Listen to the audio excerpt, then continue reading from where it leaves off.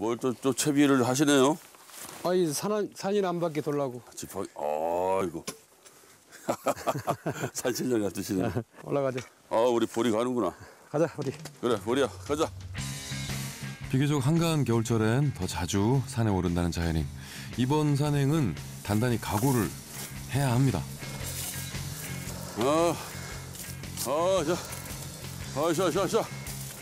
와, 가파라도 진짜 이렇게 가파를 수가 있나? 사람 다니는 길 맞습니까 이게? 동물 다니는 길 아니에요? 제가 가는 게 길이에요. 아, 아니 근데 뭘 산에 가는 이유가 있어요?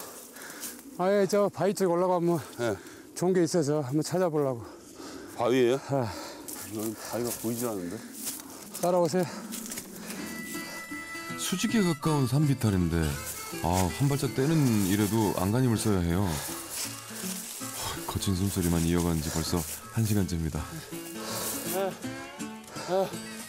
아, 형님, 쉬었다 가요. 1분만 쉬었다 가세요. 형님 딱 1분만 쉬다가.